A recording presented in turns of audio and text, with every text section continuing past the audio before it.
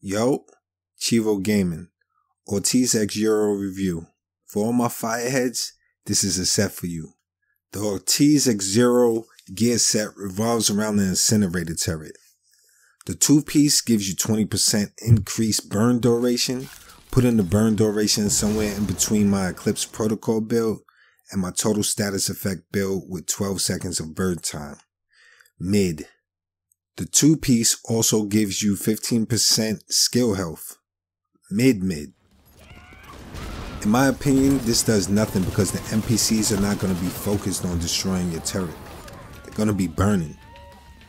The three piece is okay, giving you 40% burn damage.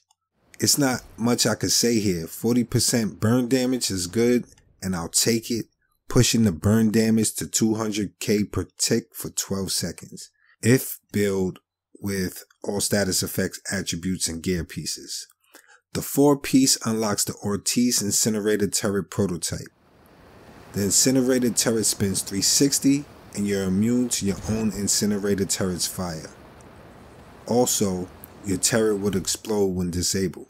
Finally, it's a shame you have to build a gear set to make your turret do a 360. The skill should already do that, it was like that in the Division 1. It took them five years to do this? Whatever. Chest piece talent, chain combustion. Enemies set on fire ignite other enemies within two meters. It's okay, I guess, for those enemies outside of the range of your turret, but are two meters closer to the burning victim. It's like a baby creeping death. Backpack talent, heat stroke gives you 25% weapon damage to enemies set on fire by your turret and 25% extra range. So it will go from 15 to 19 meters. Not bad, giving you a large radius to cook in. The stats. Cooldown is 35 seconds with 3 skill haste mods. I think the base cooldown is 50 seconds. Duration is 30 seconds. Health is 6 million. Damage is 53k. Range with the backpack is 19 meters, 15 without. Burn damage 200k. And burn duration is 12 seconds, built with status effects in mind. PvP damage is 42k and burn damage is 34k. I'm not gonna front, I came into this season with low expectations, and at first glance of this gear set, I was not impressed.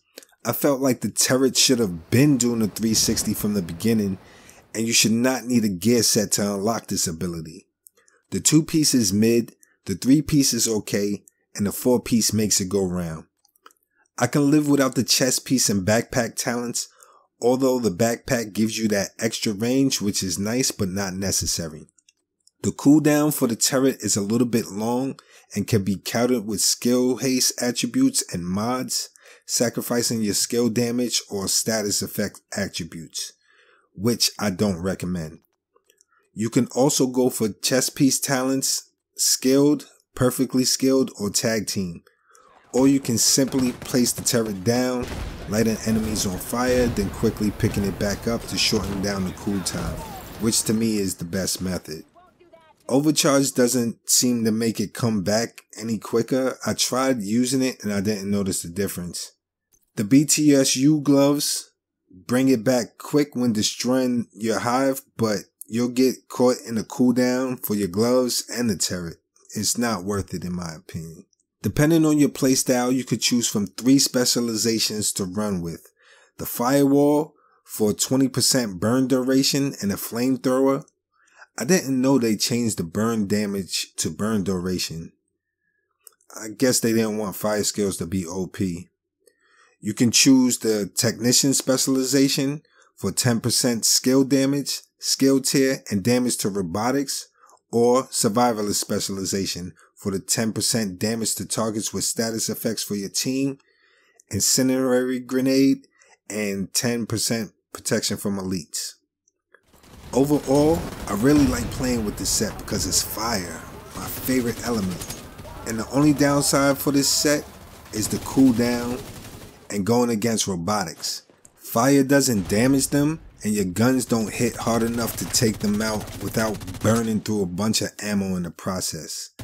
My suggestion on how to use this set is to build into status effects heavy and then skill damage and then skill haste on the mods. Place the turret down to catch enemies on fire, picking it back up to shorten the cooldown, and then using your pyromaniac or weapon with ignited to pick off the burning enemies. Rinse and repeat. Secondary skill I like to use is the Airburst Seeker Mine. It has a pretty quick cooldown, high damage, high burn damage, and high burn duration. The Fire Chem Launcher is pretty good too, depending on how you like to play. I give this set an 8 out of 10 and we'll be playing around with it to come up with some nice builds. Leave a comment and let me know what you think about the set and how you like to run it. Until next time, I'm out.